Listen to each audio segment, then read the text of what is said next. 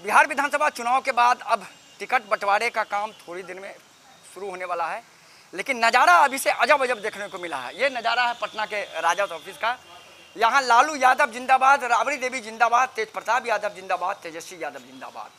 तेगड़ा विधानसभा क्षेत्र से सुधा सिंह टिकट की दावेदारी को लेकर अनिश्चितकालीन अनशन पर बैठ गई हैं। खुद उनके साथ दो लोग और बैठे हुए हैं। और ये राजद कार्यालय के अंदर का नज़ारा है, ये अपने आप में बड़ा महत्वपूर्ण है। अब आप देखिए किस तरीके से हम इनसे बात करेंगे कि इनकी ऐसी क्या दावेदारी है कि इनको अनिश्चितकालीन अनशन करना पड़ा?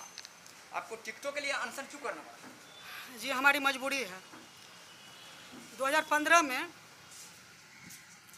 15 में हमारा टिकट श्योर था, पक्का था। लालू जी कहने पर हम आवेदन दिए थे पार्टी कार्यालय में, टिकट के लिए, तेघरा विधानसभा से। बेगूसराय के तेघरा विधानसभा से हम। तो हमारी सीट श्योर हो गई थी कि इनको टिकट मिलना है और चुनाव चिन्ह अब सुबह में उठाना है और रात में अचानक नीतीश जी से गठबंधन थी वो तेगरा का सीट मांगे। इस बार अपने लिए। फाइनल का हुआ कि आप बैठे इस बार फाइनल नहीं हुआ बैठ गया इसलिए कि हम पाँच सितंबर को अप्लाई किए हैं। पंद्रह दिन से पटना बैठे हुए हैं। ना तेजस्वी जी मिलते हैं ना आवास में यहाँ पार्टी कार्यालय आते हैं तो कोई मिलते हैं। लगता है कि जैसे कि हम लोग किसी दल में नहीं हैं। ऐसा सलूक हम लोग के साथ किया जा रहा है। अनशन चलेगा अभी हम तो बैठेंगे, जब तक तेजस्वी जी नहीं आएँगे, हमारी बात को नहीं सुनेंगे, तब तक हम बैठे रहेंगे। और एक महिला अपना हक चाहती है। उन्नीस सौ पंचानवे में हम पार्टी ज्वाइन किए थे जनता दल।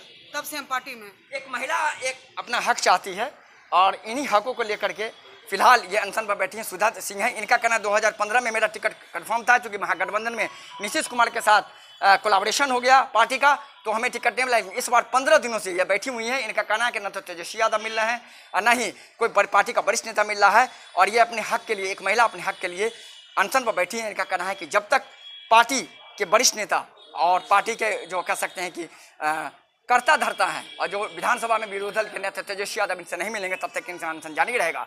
यानी टिकटों को लेकर के अभी से मारामारी के बीच अनशन का भी दौर शुरू हो गया है। हमें देखना होगा कि बिहार विधानसभा चुनाव हमें कैसे कैसे रंग दिखाएगा ये तो आने वाला चंद दिन ही बता पाएगा।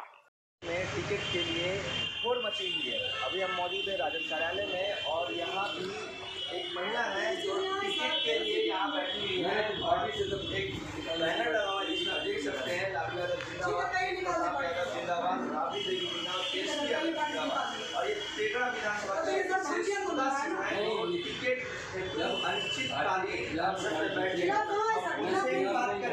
किस तरीके बैठे हमारे मजबूरी है।